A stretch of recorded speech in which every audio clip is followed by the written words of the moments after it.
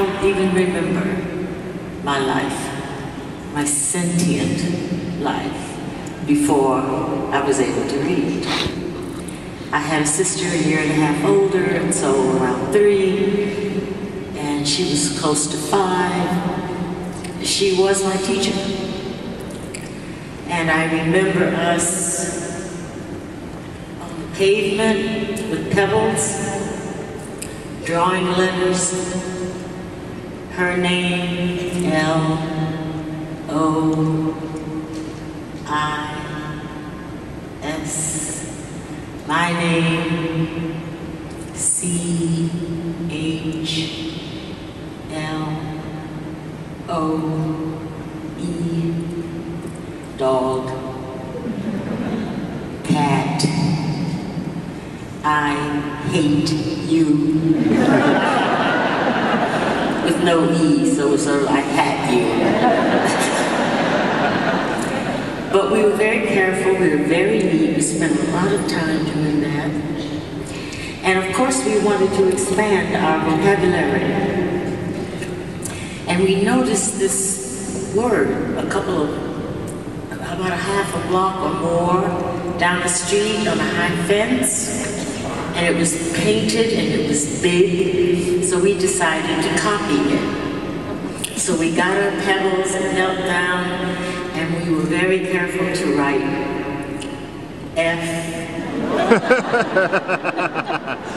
U but before we could get even to the next letter, my mother is rushing down the steps. Is the matter with you? Get a broom. Get some water. Do this. And we were stunned, crying, erasing, washing away this word. Or for me, it's there's certain kinds of books that I like to read on an iPad because it's you know, you just turn the pages and enjoy yourself. Then there are other books where I really need the book because I am part of that book. It's not just reading, it, it's making notes in it and underscoring, exclamation points. And me, I'm a compulsive copy editor, so if there's any error, I have to correct it no matter what.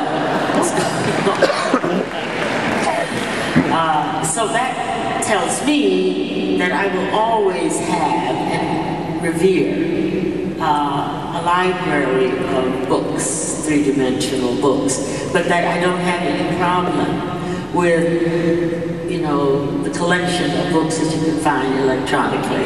And for me, the same sort of thrust that's going on architecturally speaking about whether a library redesigns itself to be a kind of a community center with or without a playground, or coffee and sandwiches and whatever else, gift shop, you know, and then books, it does not offensive to me. And the older libraries and the Gothic architecture, where there's stacks and where people do say um, are, for me, pretty much in the same category as my necessary uh, handling, wanting to handle and underscore and write margins in certain kinds of books.